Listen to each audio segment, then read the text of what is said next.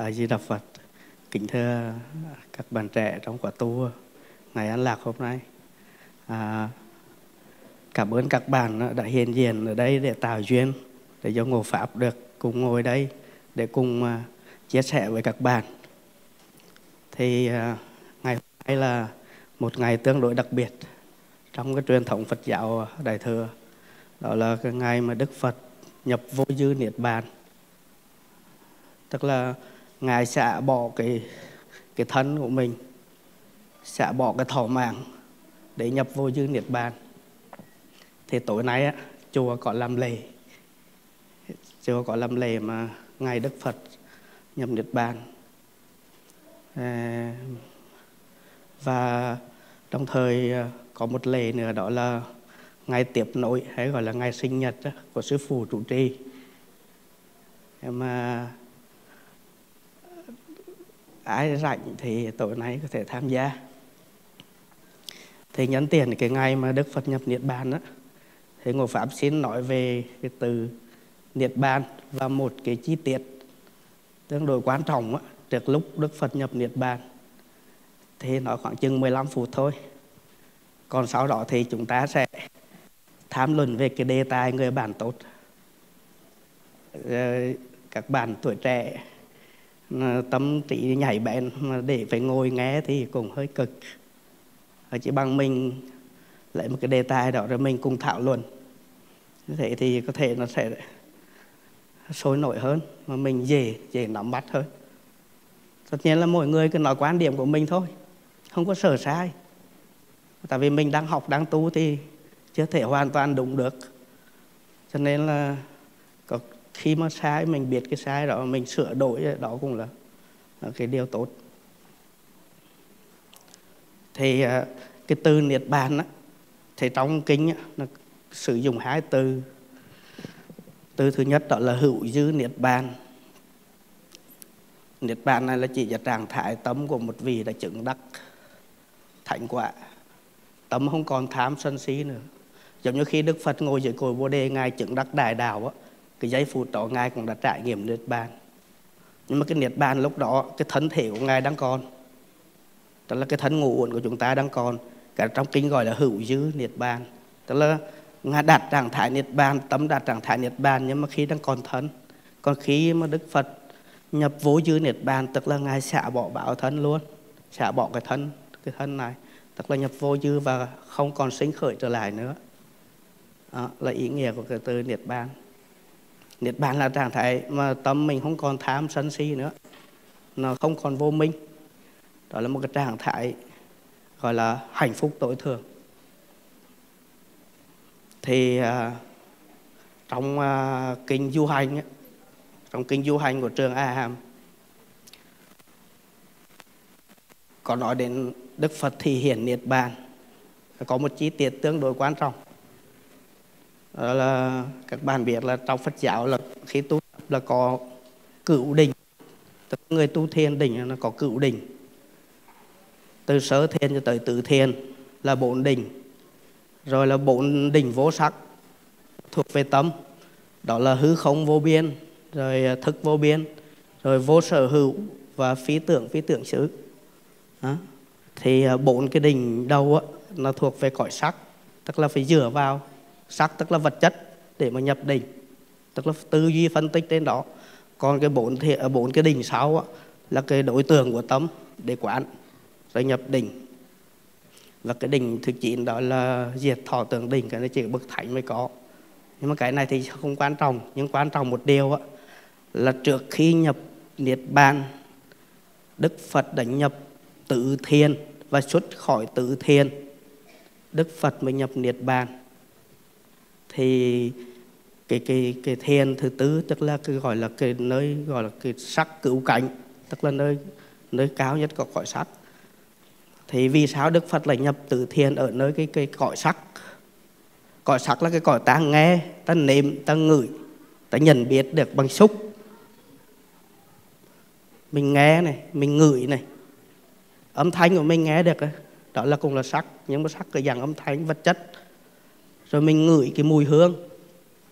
Mình ngửi cái mùi hương, đó cũng là vật chất. Rồi mình xúc chạm, đó cũng là vật chất. Đó. thì vì sao đức phật là nhập niết bàn ở ở cõi sắc? Cái này nó có ý nghĩa gì? Tức là niết bàn ở đây mình có thể trải nghiệm được, chứ không phải là một cái hư vô. Mình có thể trải nghiệm được bằng cái sự tu tập. Tức là mình kiểm nghiệm được nó. Ờ, đó là cái điều quan trọng để chúng ta biết là cái niết bàn ở trong Phật giáo là mình có thể thực tập được, có thể trải nghiệm, có thể kiểm chứng nó được bằng sự tu tập. Nên nhiều khi người ta nói đến niết bàn, người ta nghĩ những cái gì xấu xa lắm, hoặc là một cái cõi nào khác. Nhưng thực tế là trên cái thân của mình đấy này, bằng cái sự tu tập thì mình có thể trải nghiệm được nó. Cho nên đó là ý nghĩa vì sao Đức Phật sau khi nhập từ sơ thiên cho đến uh, uh, diệt thọ tượng đỉnh rồi Đức Phật lại nhập lại. Rồi Đức, Đức Phật nhập tới tự thiên rồi xuất tự thiên là Đức Phật nhập niết bàn luôn. Tức là cái niết bàn Đức Phật nhập ở cõi sắc. Tức là cái niết bàn này mình có thể cảm nhận được có thể trải nghiệm bằng thực tế được chứ không phải là một cái hư vô. Cho nên mình nhìn thấy cái đó để mình thấy là mình có niềm tin tại vì thực tế cái khái niệm về niết bàn nó hơi mơ hồ thứ hai nữa là niết bàn là cái đối tượng để trí tuệ nhận thức. Cho nên cũng không có ai mới chỉ ra rõ ràng được hết. Chỉ có người tu tập có trí tuệ thì sẽ cảm nhận được cái đó. Còn hôm nay thì nói sơ về niết bàn như vậy. Nói trong, tại vì trong cái ngày đức phật nhập niết bàn, thì hôm nay chúng ta sẽ tham luận về cái cái vấn đề đó là làm như thế nào để chúng ta có thể tìm được một người bạn bạn tốt thực tế trong cuộc sống chúng ta không thể tách rời các mối quan hệ được. Thì những cái mối quan hệ đó, bản thân mình à, nỗ lực bao nhiêu đi chăng nữa, nhưng mà không có những người bạn tốt ở bên hỗ trợ thì cái cuộc sống của mình cũng khó thành tựu lắm. Nhưng mà bằng cái phương pháp gì, bằng cái tiêu chuẩn gì để mình nhận biết là người ở bên mình đó là một người bạn thật sự? Tại vì người bạn thật sự sẽ giúp đỡ mình rất nhiều ở bên, ở trong cuộc sống. Thì à, ngày hôm nay thì ngô pháp muốn là các bạn cùng cùng nói lên cái quan điểm của mình về về về một người bạn. Tại vì đấy là vấn đề thực tế trong cuộc sống, ai cũng có bạn hết. Trong cái giáo lý duyên khởi của đạo Phật là không ai tồn tại độc lập cả, mà mình tồn tại giữa các mối quan hệ. Thì bạn đấy giống như mình là nhân và bạn tức là duyên vậy đó. Mình là cái nhân tốt đi nhưng mà không có cái duyên tốt hỗ trợ nó cũng không thành tựu. Thì chắc hôm nay à, mọi người cứ nói lên cái quan điểm của mình không có sợ. Tại vì mình đang tu đang học mình không có sợ sai. Mình chỉ nói theo quan điểm cá nhân của mình mình không có sợ cái đó. Thì như thế thì à, pháp nghĩ sẽ cái buổi sinh hoạt của chúng ta nó sẽ hấp dẫn hơn. Cho các bạn còn tuổi trẻ còn sức khỏe cái tâm tị nhảy bén mà bắt các bạn phải ngồi nghe thụ động thì hơi nó không có phù hợp lắm.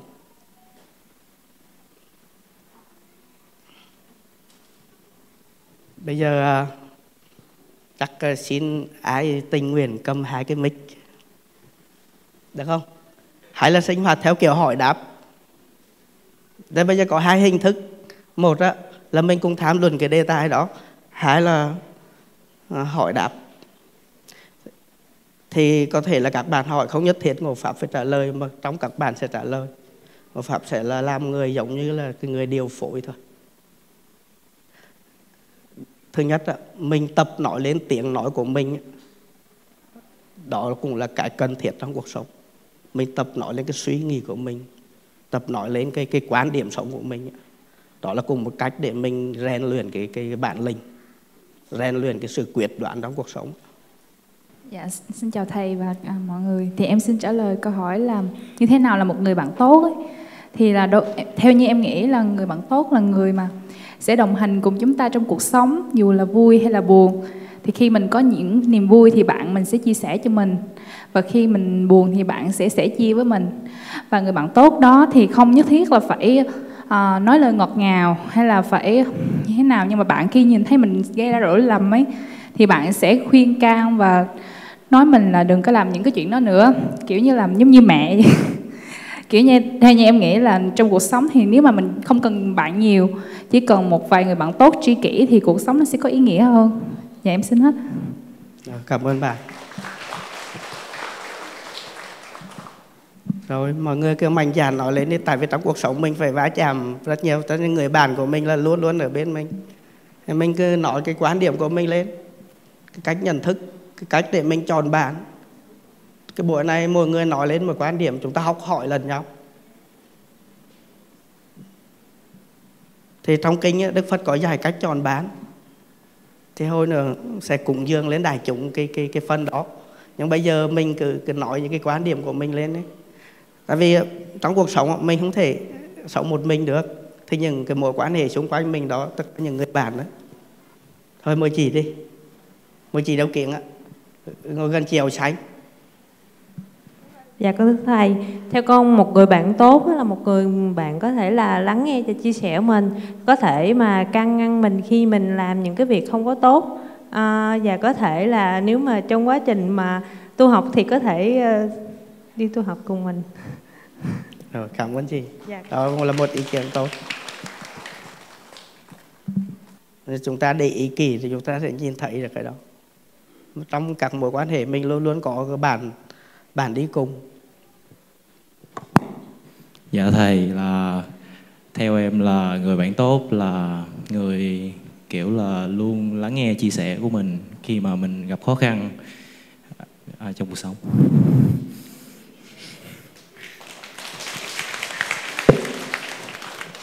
Vâng bạn không các bạn tự giác lên. Tuổi trẻ năng động tại vì cái cái này thì cũng không phải là cái cái cái đề tài này mà không phải quá khó. Nó, nó, nó gần với cuộc sống hàng ngày của mình. Thôi để à, ấy thì sẽ nói một một cái ở trong trong cái lời kính của Đức Phật dạy về người bạn tốt nha. Có bốn hàng bản chân thật. Có bốn hàng bản thân thường đem lại lợi ích và che chở những gì là bốn một là ngắn làm việc ác. Đó, người bạn tốt đầu tiên đó là là bạn là ngắn mình làm việc ác. Đó, đó là kinh đức phật dạy. Hai là phải thương yêu mình thật sự. Đó. ba đó là giúp đỡ giúp đỡ mình cái lúc mình khó khăn bốn đó là đồng sự tức là đồng hành cùng với mình trong cuộc sống. Thì à,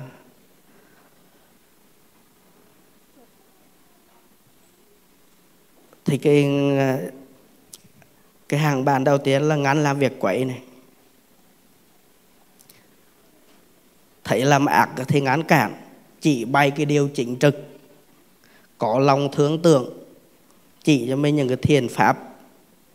Đó là bốn trường hợp ngắn cản việc quấy đem lại lợi ích mà hãy che chở cho mình. Đó. thì một người bạn một người bạn thật sự với mình, khi thấy mình mà đi vào cái đường giống như làm việc trái quấy thì à, một người bạn thật sự thì họ sẽ ngăn cản mình trong cái việc đó. Không để cho mình mình đi đi vào con đường trái trái, dẫn đến lầm lỗi thì trong này đức phật có nói có có bốn hàng người. Đó. thì hàng người thứ hai á hàng người yêu thương yêu thương mình. Đó là bản bản thật sự thì sẽ thương yêu mình. Thương yêu như thế nào? Mừng mừng vui khi thấy mình được lời. Tức là trong cuộc sống mình có những cái thành tựu này, thành tựu khác đó mình có lời lọc lợi ích trong cuộc sống thì người đó sẽ mừng cho mình chứ không có ganh ghét với mình.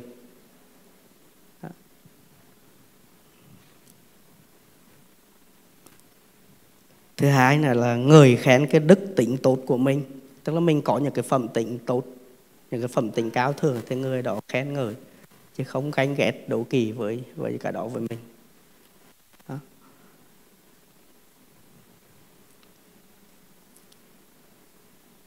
Thấy mà người khác nói xấu mình nói ác mình thì tìm cách ngăn cản lại. Đó, đó là người bạn là thuộc về bạn là yêu thương. Nó có các cái chí phần như vậy. Thì chúng ta học để chúng ta biết để sau này những người bạn nào tới mình sẽ biết là bạn thuộc cái gì còn nên kết giao hay không. Tại vì trong cuộc sống người bạn bạn đến đường nó quan trọng lắm. Gặp bạn tốt thì hỗ trợ mình rất nhiều. Nhưng gặp bạn xấu thì có thể cản trở cái sự tu dưỡng cũng như cái sự thành tựu của mình trong cuộc sống.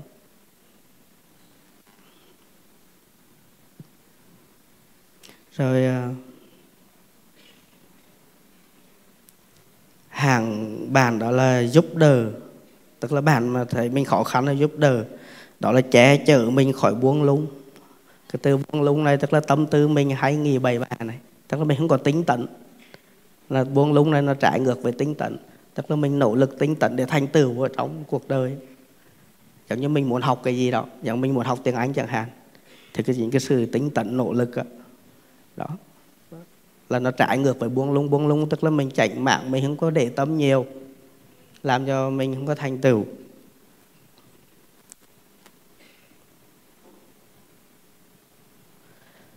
Tiếp này là che chở mình khỏi hao tài.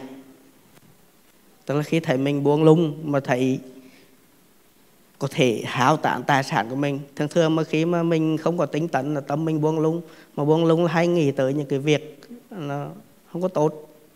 Nhiều khi đi quán này, quán kia, đi sắm này, sắm kia, nó không cần thiết, nó hao. Vậy thì người bản là người ta sẽ ngăn cho mình. Do buông lung mà mình tiêu tán tài sản thì người ta sẽ ngăn cản để bảo vệ cái tài sản cho mình. Tiếp nữa là che chở mình khỏi cái sự sợ hãi. Tức là khi mình sợ hãi mình lo lắng thì người ta sẽ an ủi che chở giúp cho mình được. Rồi là giả sử mình có sai trái gì đó thì họ sẽ tìm chỗ vắng người mà khuyên mình. Chứ không khuyên chỗ nhiều người mình quê. À, đó là bản tốt. À, tức là bản tốt là người ta khéo léo người ta sợ mình bị tổn thương sợ mình bị bị quê, bị khổ. Cho nên giả sử mình có sai trái thì người ta cũng sẽ tìm cái chỗ vắng vẻ. Chỉ có hai người thôi khi là mới khuyên ra chứ không khuyên giữa đại chúng. Khuyên giữa đại chúng nhiều khi tốt thì không biết chưa sửa, đặt sửa được xấu chưa chứ. Thấy bị quê trước cái đó. đó. Thì mình cùng học những cái pháp này để sau này mình đối xử bạn bè mình cũng đối xử như vậy. Là mình trở thành người bạn tốt.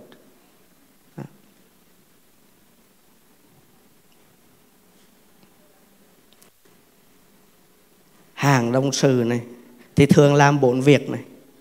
Tức là không tiếc thân mạng để bảo vệ mình này, tức là đồng hành cùng mình. Không tiếc của cải này, khi mình khó khăn thì thường không tiếc của cải để giúp đỡ mình. Và khi mình gặp sợ hãi thì họ sẽ thường cứu giúp mình. Và cũng là khuyên răn mình ở chỗ vắng người đó là có bốn hàng người mà gọi là có thể làm bản làm bản tốt cho mình trên cái đường đời.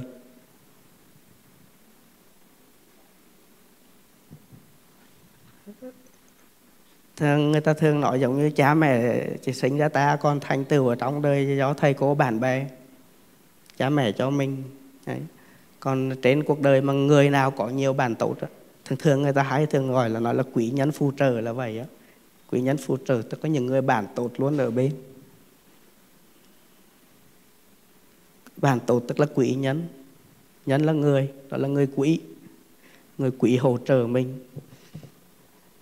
Có những người bạn thì cho mình kiến thức.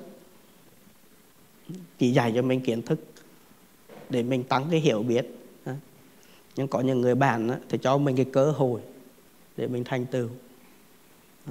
Có những người bạn thì họ luôn nhắc nhở mình để mình khỏi buông lung.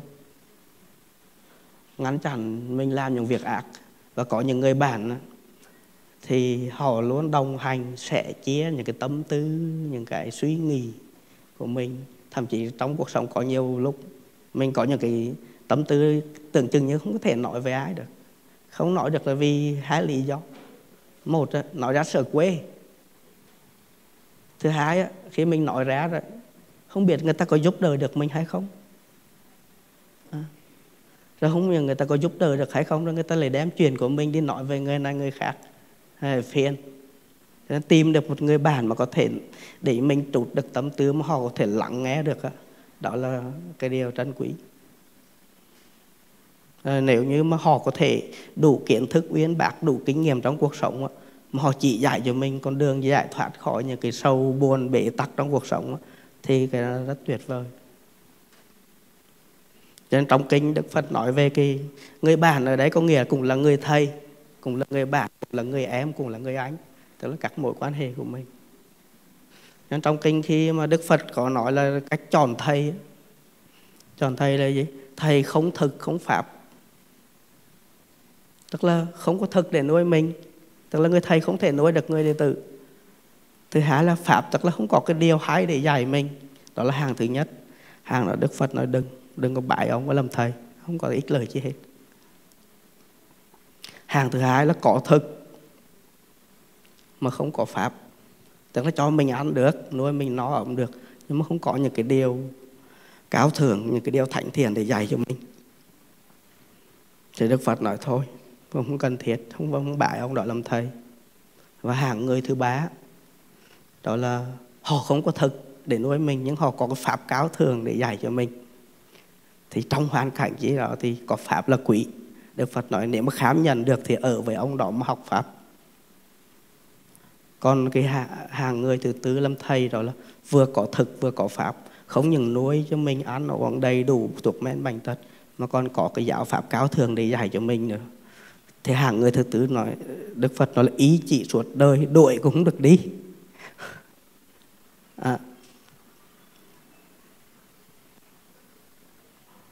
Thì trong cái mối quan hệ đó thì giống như mình gặp được một người thầy giỏi đầy đủ mọi thứ thì đó cũng giống như là cái quỷ nhân phù trợ đến cái cuộc đời của mình.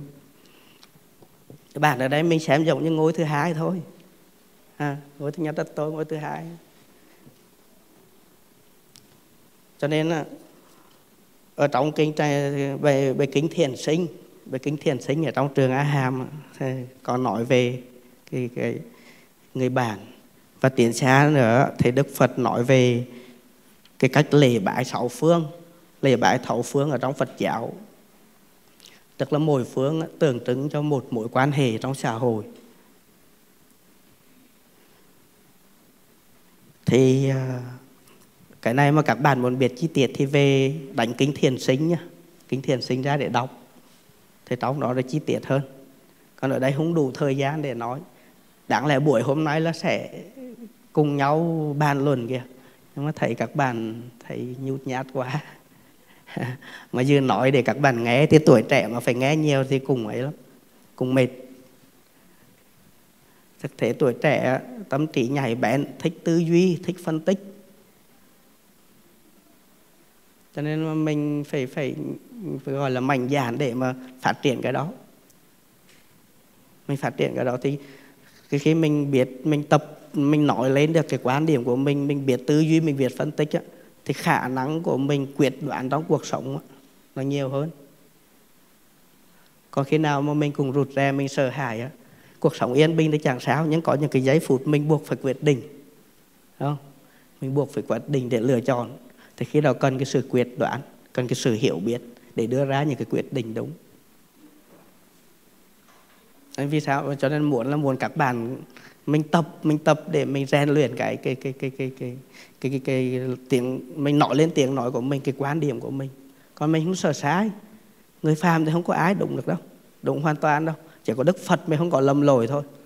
Còn mình thì mình người phàm thì chắc chắn là sẽ có lầm lỗi. Nhưng điều quan trọng là mình lầm lỗi nhưng mà mình biết sửa chữa mình biết hoàn thiện mình biết loại bỏ nó.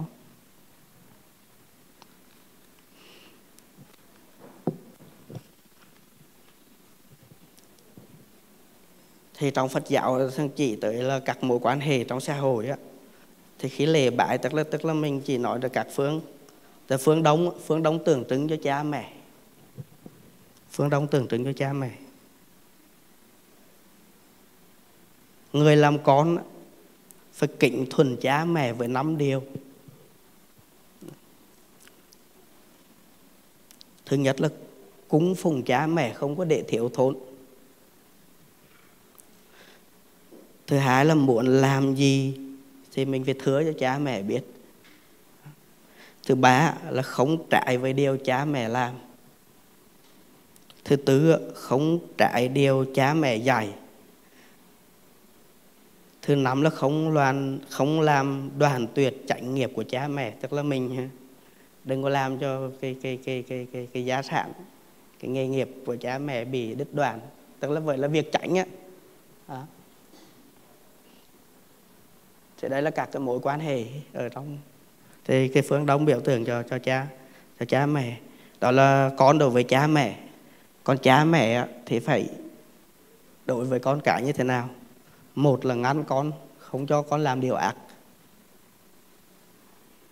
Cái bài kinh này tương đối quan trọng á. Tức là nó là cách ứng xử của Phật giáo mình trong các mối quan hệ á. Có thể dùng cái này làm nền tảng để mà làm đạo đức gia đình được mình cắn cử sau đó để mình mình mình giải giải con cái. Rồi là anh chị em khuyên ăn trong gia đình được. Thứ nhất là ngắn, con đừng, ngắn con không cho con làm ác. Thứ hai, chỉ bày những điều lành. Thứ ba là thương con đến tận xương tủy. Thứ tư là chọn cho con những cái hôn phối tốt đẹp. Tức là dừng vợ gạ chồng á, phải chọn. À. thứ năm là tùy thời cung cấp nhu yếu. Tức là phải cho con ăn mặc đầy đủ nhưng không phải là cho dư thừa. Tức là đủ để sống đủ để học tập đủ để ấy. Đó là cái bổn phận của cha mẹ. Đó là mối quan hệ thứ nhất trong cuộc đời của mình đó là cha mẹ. À, ai cũng có cha mẹ hết chắc là cái mối quan hệ này thì không ai không ai à, bỏ được.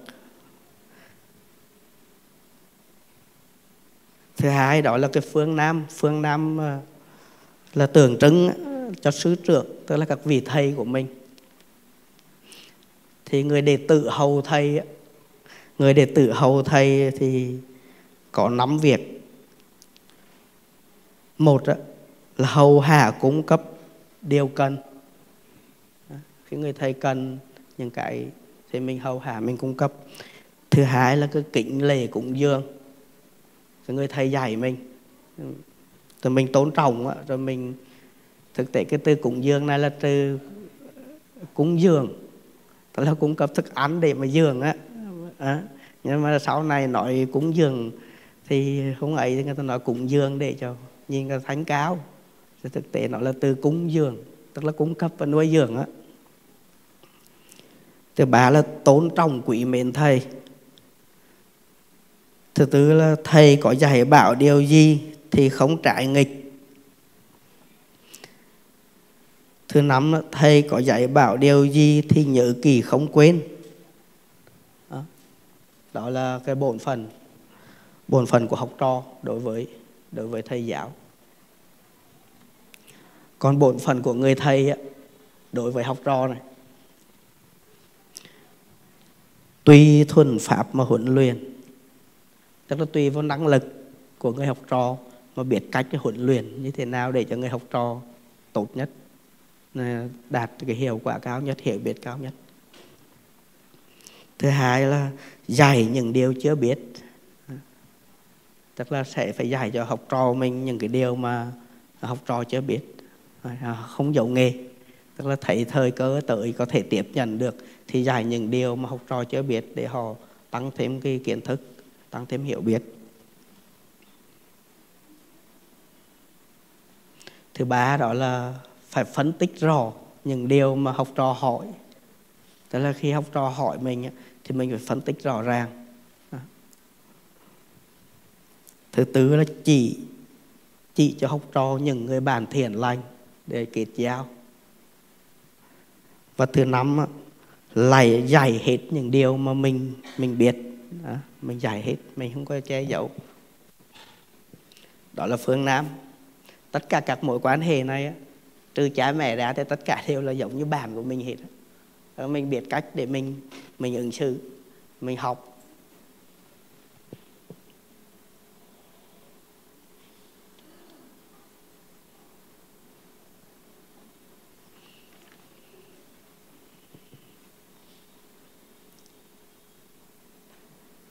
Còn phương tây phương tây là giống như đạo của vợ chồng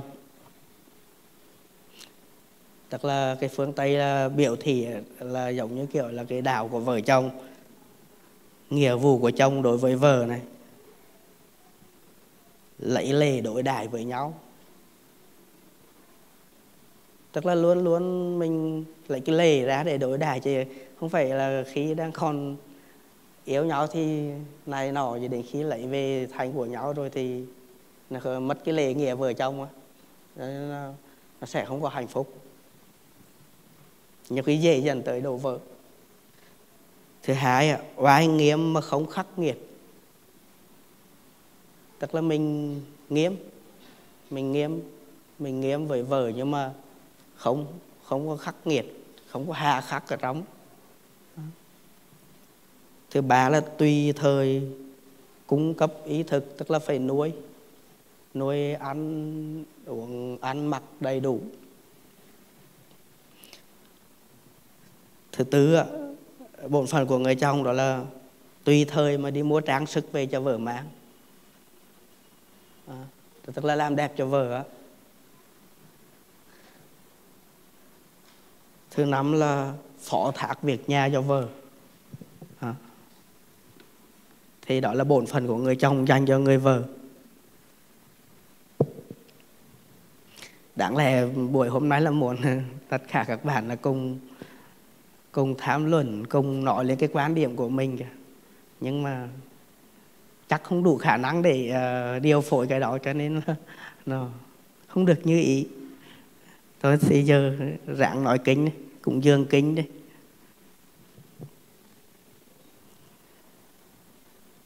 Rồi nghĩa vụ của vợ đối với chồng này.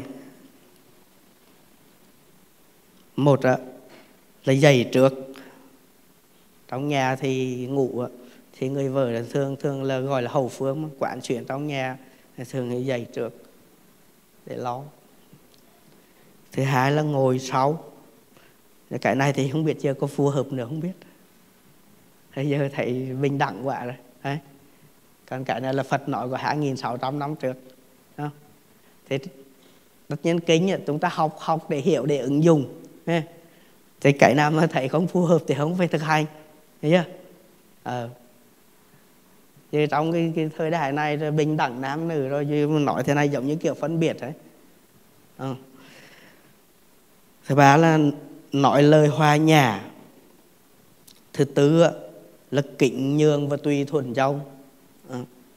thứ năm là đón trước ý chồng cái này thì không phải là ấy đâu kể cả chồng cũng phải đón trước ý vợ biết chuẩn bị cái gì. Không ờ. Ờ. thì cấp độ chắc có lẽ khó. Đoán ý thì khó. Đoán ý thì mình phải phải hiểu, mình phải thương thiệt kìa. Rồi sống dần nên mình quen, mình biết cái cách suy nghĩ á, thì mình mới đoán ý được. Cái đoán ý này khó lắm. Ai mà đoán ý được là đi làm trợ lý được. Thường thường mấy người trợ lý là không có để cho sếp nói đâu. Người ta đoán ý được là chuẩn bị ông sếp chuẩn bị làm cái gì cũng giống như người đi phù mộ á. Là tới đó là biết làm cái gì là cái đứa lên.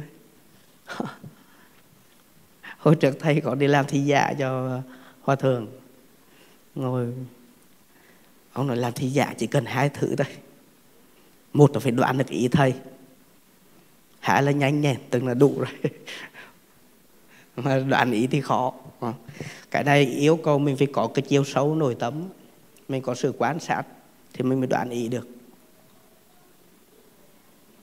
Tức là mình phải quan sát được. Thứ nhất là khi gần gũi mình quan sát được, quan sát được tâm tư, quan sát được cái hành động á, thì hỏa máy mình mới đoán ý được. Còn không không đoán ý thì ít người đoán được lắm.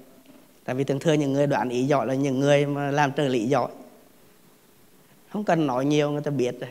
Giống như tôn giả an an là đoán ý phật rất giỏi. Là gọi là trợ lý số một. Không cần phật nói. Là biết là phật muốn cái gì là chú sắp xếp sẵn vậy đó.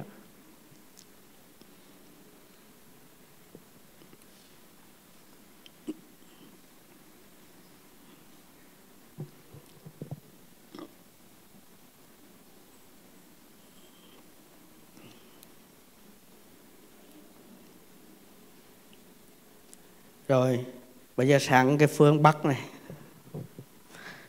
Cái phương Bắc là chỉ cho mối quan hệ người thân của mình, thân thích.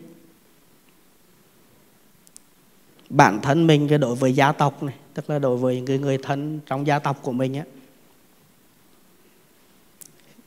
thứ nhất là khi có điều kiện là mình phải chú cấp chú cấp cho người thân tộc của mình ở đây không có nghĩa là chú cấp cho tất cả không giống như trong gia tộc của mình, giống như ông bà già không làm được việc nữa chẳng hạn.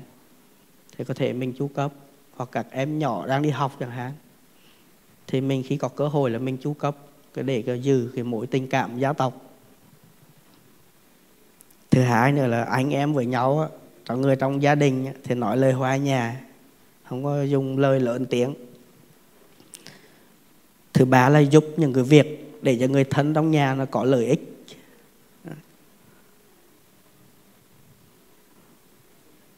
Thứ tư là đồng lời.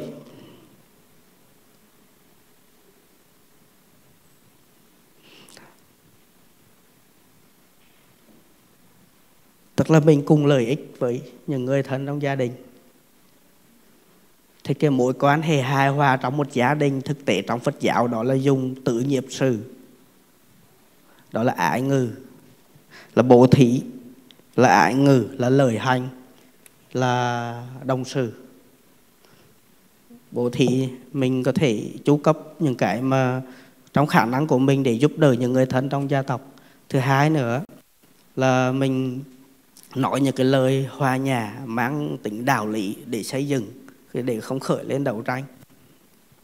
Thứ ba là lời hành, là cùng có những cái hành động thiết thực để mà cùng có lợi ích còn cái từ đồng sự này có hai nghĩa, tức là cùng sự việc. Nhưng mà cái nghĩa chính của nó là giống như giúp những người trong gia tộc của mình có cùng cái đẳng cấp vị thế ngang với mình.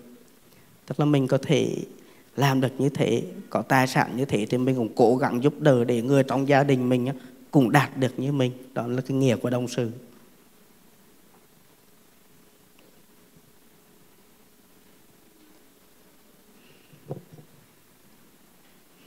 đó là bản thân mình đối với uh, thân tộc thì như vậy. Còn thân tộc đối với cá nhân mình thì sao? Thì đức phật dạy này ba con cũng phải lấy năm điều để đổi lại. Thứ nhất là che chở cho mình khỏi buông lung. Tức là khi thấy mình buông lung về đi xa vào những cái pháp ác thì phải che chở phải nhắc nhở đó thứ hai nữa là che chở cho mình khỏi háo tài sản vì buông lung tức là khi thấy buông lung có thể làm háo tạm tài sản thì bà con thân tộc phải có trách nhiệm là nhắc nhở, bảo hộ đó. thứ ba là che chở khỏi sự sợ hãi, giống như trong cuộc sống mình bị ai đó dọa nạt chẳng hạn thì thì bà con thân tộc phải có trách nhiệm đứng ra để mà bảo vệ, làm chỗ dựa cho mình Đấy đó là một cái ý nghĩa nhỏ, cho trong nó có nhiều thứ đó rồi mình sợ hãi những thứ giống như kiểu mình sợ má sợ quỷ, sợ thánh thanh trách phạt. Thì mình hướng dẫn để họ quy y, để hiểu, họ hiểu về tâm bảo, họ hiểu về nhân viên nghiệp bảo họ hết sợ hãi chẳng hạn. Đó đó là một là cái cách. Tức mình dẫn dắt họ. Làm sao để cái sự sợ hãi của họ không còn?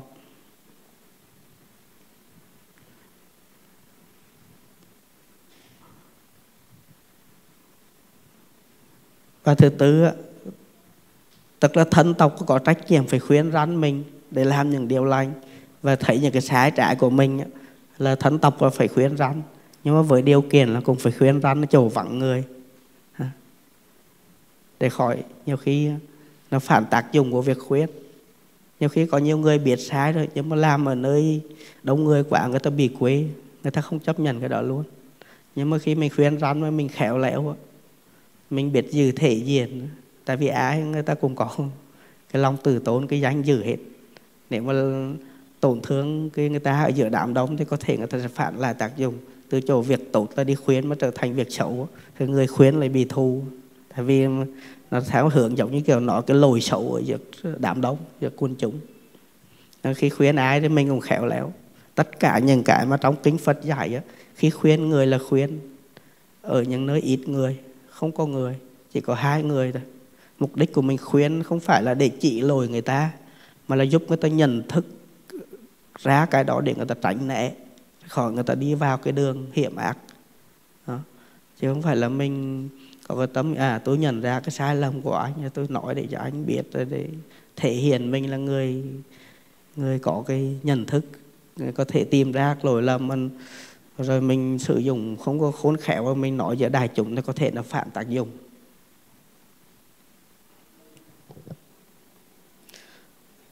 Và thứ năm đó là thường khen ngợi cho nhau.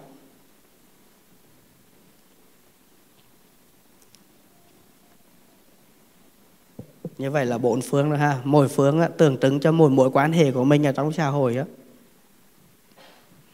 Nhưng mà mượn các phương để đức phật để để để ờ, nói ra cái pháp.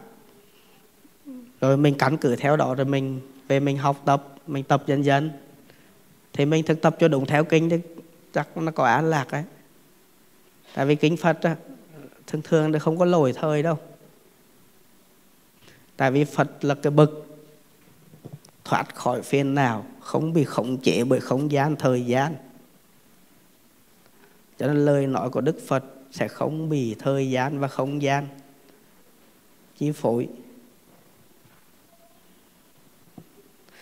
Đức phật căn cứ trên nghiệp của chúng sinh mà đức phật nói. Mặc dù xã hội có thể thay đổi, nhưng mà bản chất của cuộc sống nó không có thay đổi. Hình thức sống có thể thay đổi, nhưng mà bản chất bên trong đó nó không có thay đổi. Giống như mình ở cõi dục này này cõi dục tức là dục tức là ham muốn. Thực tế cõi dục nói cho đúng là cái cõi yếu ghét. Thấy chưa? À, cõi yếu ghét. Cái gì mà mình thích thú mình có lời thì mình yếu còn cái gì mà làm tổn hại mình thì mình ghét. Thì xã hội từ xưa đến nay có trải qua các thời kỳ thì chăng nữa thì cái bản chất của nó vẫn là ở trong cái cõi dục là nó vẫn như vậy. Rồi sang phương ờ, phương dưới. Phương dưới là nói cho gia nhân, tức là cái mối quan hệ giữa chủ chủ với tớ. Đó là từ ngày xưa. Bây giờ là giống như quan hệ ông chủ với người làm vậy đó. Giống như ông ông ông ông chủ doanh nghiệp với ờ, công nhân, với nhân viên. Này thiền sinh, chủ với tớ có năm điều để sai bảo. Một, tùy khả năng mà sai sự. Tức là mình sai sự, tức là xem cái khả năng người đó có làm được hay không. Rồi để mình mày khi nào mình mày mày mày cho giáo việc cho họ làm. Chỉ giáo cái việc mà ngoài khả năng là nó không có thành tựu. Ờ, vừa không được việc, nhưng mà đồng thời là cái người kia người ta cũng gặp khó khăn, gặp phiền não tại vì không có khả năng hoàn thành. Cái khả cái thứ hai là là chủ đối với tự là phải tùy thời cho ăn uống tức là đúng thời gian phải cho nghỉ ờ, phải cho ăn uống để cho có sức khỏe. Thứ ba khi mà phải thời có công lao thì phải thưởng. Thứ tư khi bệnh tật thì phải lo thuộc thang cho cho người người làm của mình. Thứ năm nữa là cho nghỉ ngơi. Làm việc đúng giờ giấc chứ không phải là bắt làm quả để người ta kiệt sức. Đó là năm điều mà ông chủ đối với nhân viên đối với công nhân của mình. Còn à, người làm đối với chủ này thứ nhất đó, là mình phải dậy sớm mình phải dậy sớm dậy sớm hơn chủ.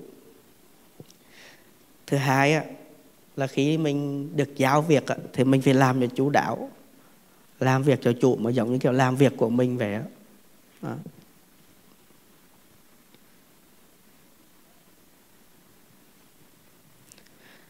thứ ba đó là không gian tham không trộm cắp.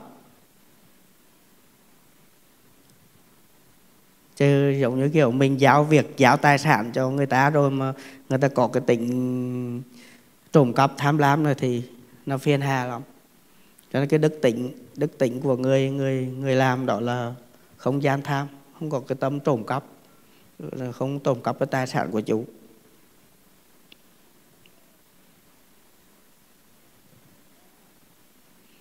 Thứ tư đó là làm việc có lớp lang, tức là mình làm việc có thử lớp người người làm là phải làm việc có thử lớp, có thử lớp đàng hoàng. Tức là trong công việc mình phải làm theo thứ tự. Này nọ, chứ không phải thích làm cái gì làm, mà nhiều khi nó nó hư việc. Giống như kiểu là cái kế hoạch đặt ra rồi thì cứ theo kế hoạch làm từng phần từng phần, chứ không phải thích làm cái gì rồi làm. Đó.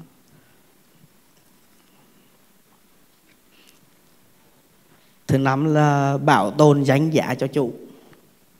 Tức là cái người làm đối với chủ là mình phải phải phải bảo vệ bảo tồn cái danh giá của chủ. À, không có nói xấu rồi thấy ai nói xấu thì mình phải biết ngăn chặn.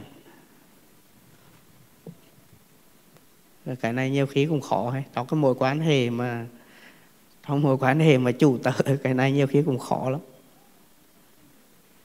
Thực thể trên thế gian này chỉ có hai à hãy giải cấp thôi.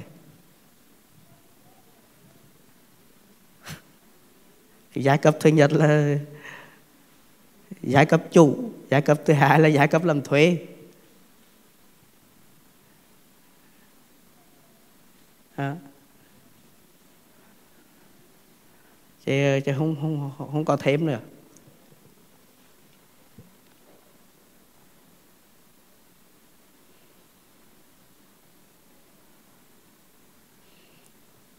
Thì uh, học cho xong uh, các cái mối quan à, nói xong các mối quan hệ này rồi nói sang cái cái cái bốn nhịp sử chút xíu. Tại vì bốn nhịp sử là nó hợp với cái đời sống hàng ngày của mình của phật tử tại gia. Nó phù hợp với các mối quan hệ. Thì người phật tử cúng phùng hàng sa môn với năm điều một này thân hành từ. Tức là thân có những hành vi mà nó liên hệ với cái tâm từ bi à. thứ hai là khẩu hành từ tức là nói những cái lời hoa nhà à, xây dựng cúng kính. Thứ ba là ý hành từ là luôn nghĩ tới những cái điều thiền với cái tâm từ bi. Thứ tư là tùy thời cũng thị à, cũng dương bố thị á à, cũng dân bộ thị ờ, gạo muối đường cháo sách vở à.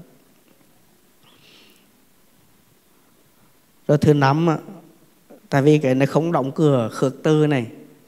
Thì cái này là phải liên hệ tới cái cái cái cái văn hóa ngày xưa. Đó là ngày xưa các tỳ khéo là đi khất thực. Đi khất thực đi khất thực theo thử lớp. Thì thường thường là có một số người không thích tới khi tới họ đóng cửa không có tiếp đó. đó. đó là năm điều năm điều mà người người người tài giá đối xử với với với các sa môn rồi à, sang cái điều là sa môn đối với người tại gia này tức là đàn việt này người người thị chủ này bố thị à, với người thị chủ sa môn và bà la môn cũng khuyến dạy theo sáu điều. Một là ngắn người đàn việt. Tức là người thị chủ đàn việt là thị chủ ngắn người chớ làm điều ác. Hai là chỉ dạy điều lành. Ba là khuyến dạy với thiền tâm. Bốn là cho nghe những điều chưa nghe. Tức là mình phải sa môn là phải dạy cho cho cho người thị chủ những cái điều mà họ chưa được nghe. À, tại vì ờ, sa môn thì nhiều khi có thời gian để đọc để tu có thể là biết nhiều hơn. À, người tại gia thì lại phải lo cơm áo gạo tiền nhiều khi không có thời gian để mà học kinh học kỹ rồi có tu tập.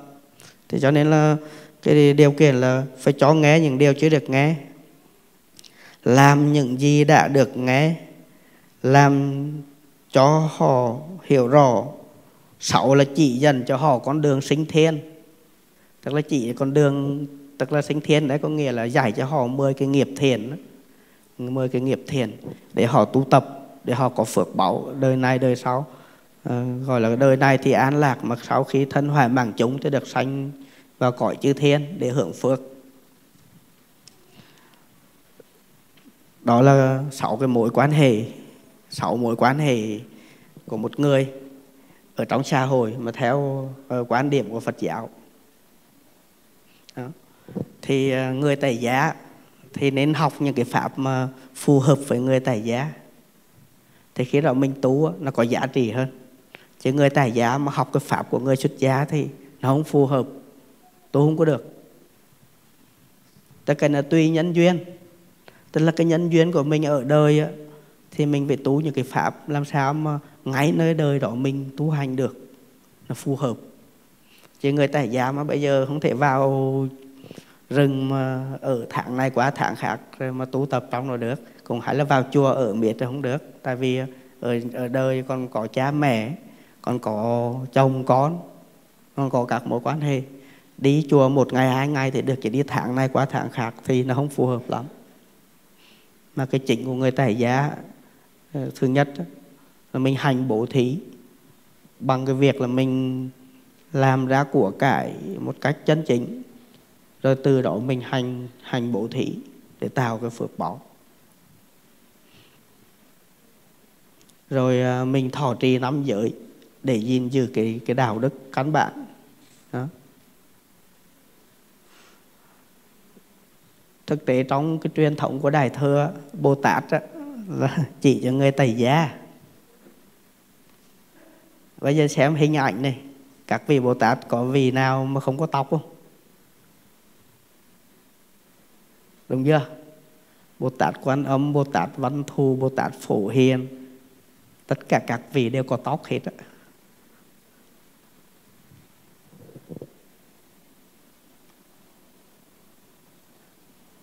Thì bồ tát ở trong ờ, đại thừa trong ấy ám chỉ cho người tại gia người tại gia tu học phật nhưng mà ở trong cái hội chúng bồ tát đó, thì không đơn thuần là người tài gia là hộ trì Phật Pháp nữa. Tức là không phải là cần sự nam, cần sự nữ nữa. Mà trong Đại Thừa, người tài giá phải có trách nhiệm duy trì Phật Pháp ở thế gian. Tức là được Đức Phật nâng cấp ngang bằng với các thầy tỳ kheo. Duy trì bằng cách nào? Duy trì cái Phật Pháp ở thế gian bằng cách nào? đó là gìn giữ cái cái cái cái cái cái hạt giống giác ngộ bằng cách đó là tu tập bổn nghiệp sự tức là bổn nghiệp pháp. Đặc điểm của bồ tát đó là lòng từ bi. Nhưng mà lòng từ bi mình chỉ nói không á. Mình làm như thế nào để trở thành lòng từ bi? Lòng từ bi của mình được biểu hiện qua bổn nghiệp sự. Thứ nhất là mình bổ thí. Bổ thí vì thương tượng, thấy người nghèo khổ. Mình thấy họ khổ sở, mình khởi tâm thương tưởng họ, mình bố thí. Mình mình cảm nhận được cái đau khổ của họ cho mình bố thí để mong cầu là họ bớt khổ hơn. Thì cái nghiệp sự đầu tiên để biểu hiện cái lòng từ bi của mình đó là thị mình đưa cái tài sản chân chính của mình ra mình mình giúp đỡ họ. Cho nên nếu mà nói tu theo Bồ Tát Đạo người tài giá tu dễ hơn, người ý là có cơ hội tu hoàn hảo hơn người xuất gia tại vì người xuất gia theo đúng luật của Phật không có tài sản. Không có tài sản thì việc bố thí nó khó. Nhưng mà người tài giá thì có thể làm ra tài sản. Và cái việc bố thí này, tất nhiên ở đấy là mình nuôi vợ, nuôi chồng, nuôi con của mình cũng là bố thí ngay chứ không phải là ấy đâu. Tức là khi mình, cái tài sản hợp pháp của mình mình được chia ra sáng sẻ ra, cả đó tất cả đều là thị hết á.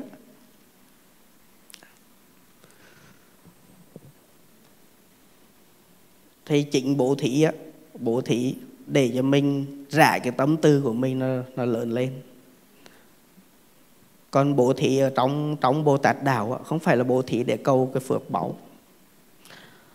Bố thí ở trong bồ tát đạo là mình bố thí để cầu cầu quả bồ đề tức là quả cái giác ngộ. Ở trong cái thánh văn tạng thì người ta chỉ dạy cho mình bố thí để cầu cái phước báo nhân thiên. Nhưng mà trong cái tạng bồ tát đó, thì đức phật dạy cho bố thí để đi thẳng tới giác ngộ luôn. Tức là trong cái sự bố thí đó mình có quán chiếu. Mình có quán chiếu trong tức là mình có quyền quán chiếu đạo trong cái pháp bố thí đó.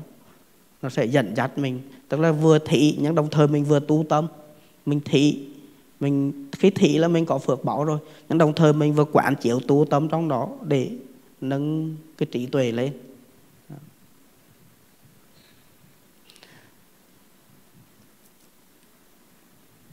Thứ hai nữa đó là ái ngữ. Ái ngữ ở đây không phải là lúc nào cũng nói nhẹ nhàng đâu. Ái ngữ ở đấy tức là chánh ngữ ở trong bát chánh đạo tức là mình nói những cái lời nhẹ nhàng, an ủi để giúp đỡ người ta lúc người ta, giống người ta đang đau khổ chẳng hạn. Mình nói những cái lời nhẹ nhàng, an ủi, nó thẩm tình đạo lý trong để giúp người ta vượt qua lúc khó khăn. Đó là những cái cái an ủi.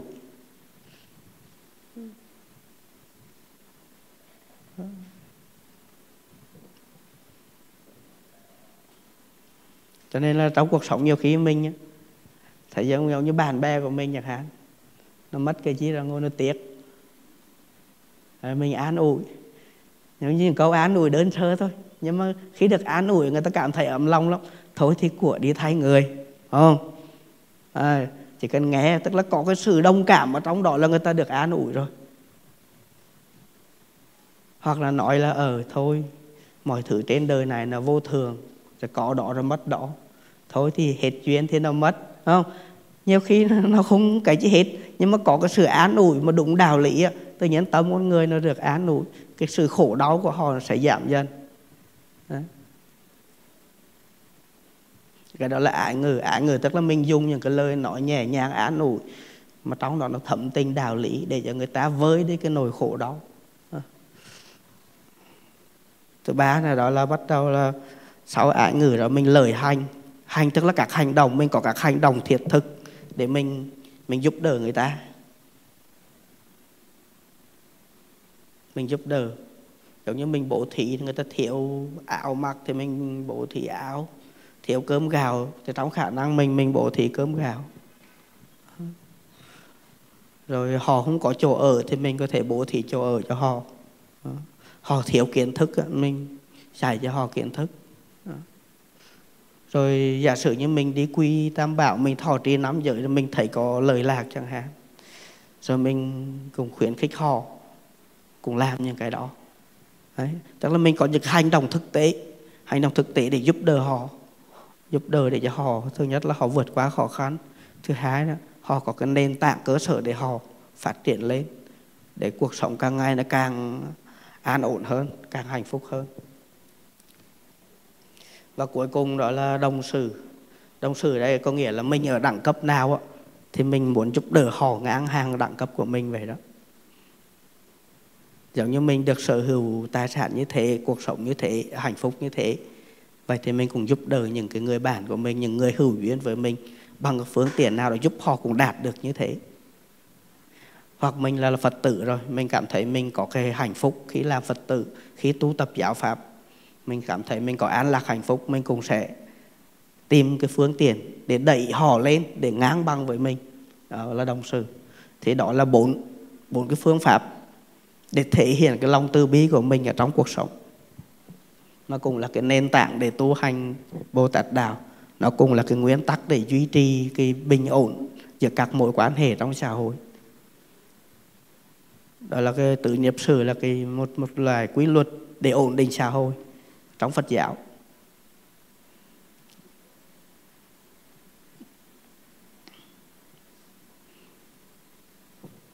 Đề tài hôm nay thì nói về tình bạn. Nhưng mà theo nghĩa rộng thì tất cả các mối quan hệ của ta đều là tình bạn hết không? Cho nên là trong cuộc sống mình cần nhất là có những cái người bạn chân thành, họ sẽ hỗ trợ mình, hỗ trợ mình đi trên con đường nó nhanh chóng thành tựu, mình về thành tựu trong cuộc sống, trong tu tập mình cũng về thành tựu. Cho nên à, ở trong à, luận luận còn nói đến cái bốn cái phương pháp thành tựu, bốn điều kiện để thành tựu. Khi tu tập, cái này nói rộng ra là trong cuộc sống luôn. Điều kiện thứ nhất đó là thân cần thiền sĩ. Thiền sĩ tức là người hiền lành, người có trí tuệ hay nói cao hơn nữa là các bậc thánh phật, bồ tát với các thánh đệ tử ở thiền trì thứ hai nữa, đó là khi thân cần rồi á, thì mình thịnh văn chánh pháp. Tức là nghe những cái lời dạy của họ, những cái lời dạy. Sau khi nghe những cái lời dạy đó rồi á, về bắt đầu mình mình như lý tác ý. Tức là mình tác ý, mình tư duy trên cái đó để mình hiểu biết. Và cuối cùng khi mình hiểu biết rồi á, thì bắt đầu mình gọi là pháp tùy, pháp hành căn cứ trên cái đó mà mình thực hành. Đó là bốn cái nguyên tắc. Thì cái cái đầu tiên là thiền sĩ tức là người bản lành. Và người bản lành lớn nhất trong cuộc đời của chúng ta đó là đức như là à, không có ai lành hơn đức phật hết. Thì giờ cũng sắp hết giờ rồi. Thì à, cảm ơn à, mọi người đã ngồi lắng nghe còn hiểu được bao nhiêu thì hiểu không hiểu được thì cứ để cho qua à. không nguyên tắc là vậy ạ nguyên tắc đi nghe với đọc sách ạ nghe được cái nào thì nghe không nghe được thì cho qua. Mình nghe là được rồi. Có nhiều người đọc sách đọc khó gấp sách lại à, người đó là chưa có kỹ thuật đọc sách. Đọc sách là giống như mình ăn cơm vậy đó. Đọc hàng ngày nhưng mà cái chỗ nào không hiểu thì bỏ qua. Rồi đọc tiếp sang cái khác. Thì quá trình đọc như vậy mình sẽ tích lũy trong trong tâm mình nhiều lắm. Mà cái tâm mình hay lắm. Khi tích lũy đủ nó sẽ từ xuyên suốt cho mình. Cho nên buộc mình phải tích lũy cho nhiều. Khi tích lũy nhiều, tâm nó tự động nó xuyên suốt cho mình. Mình đọc, thời gian đầu không hiểu. Nhưng mà thời gian sau mình đọc mình đọc lại mình thấy hiểu. Là khi là tâm nó tích lũy đủ, nó sẽ từ xuyên suốt. Đó là cái điểm thu thắng của tâm thứ hai, khi mình đọc á, mình đọc mình mới có khái niệm mới. Mình không đọc, mình không có những cái khái niệm mới. Thì có thể ở đây người ta chỉ nói khái niệm, nhưng mà mình tiếp tục đọc người ta sẽ giải thích cái sau. Vậy thì từ chỗ có khái niệm có giải thích là mình sẽ hiểu vấn đề. Nên nguyên tắc đọc sách á, chỗ nào không biết, bỏ, đọc tiếp. Nói thì hơi ngược, nhưng mà thật sự người đọc nhiều người ta sẽ thấy cái đó. Chứ không ai có thể đọc mà hiểu hết một cuốn sách liền đâu giống như đọc kinh cũng vậy đó. Đọc chỗ nào không hiểu thì mình bỏ qua, chỗ nào hiểu thì mình giữ lại, mình tư duy, mình tu tập. Năm nay đọc kinh vậy đó, nhưng mà 10 năm sau đọc là hiểu khác đó. tức là mình nhận, cái nhận thức nó thay đổi theo thời gian. Nhận thức thay đổi. Thay đổi theo sự tích lũy, theo tư duy, theo cái trải nghiệm của mình. Cho nên là ở đây toàn các bạn trẻ cả thì khuyến các bạn là nên có thói quen đọc sách. Đọc sách làm cho cái tâm tư mình nó khai phóng. Mình sẽ, thứ nhất là ngôn từ của mình sẽ nhiều. Khi ngôn từ của mình nhiều, mình muốn diễn đạt một cái gì nó rất dễ. Thứ hai nữa là khi mà mình diễn đạt dễ thì khả năng giáo tế của mình rất lưu loát, rất dễ dàng. Ở người trẻ thì nên đọc sách nhiều đọc sách mà khi nào mà không thấy dở sách ra thấy nhớ. Là khi nào là, là bắt đầu nó quen với việc đọc rồi. Quá trình đọc như vậy mình học được cái, những cái lời hay ý đẹp của người xưa trong. Rồi bắt đầu tâm tư mình nó sẽ tăng trưởng nó khai phóng. Thôi thì chúc các bạn có một ừ, ngày tu là hạnh phúc bình an. Giờ thì hết giờ rồi. Xin ờ, phép hồi hướng.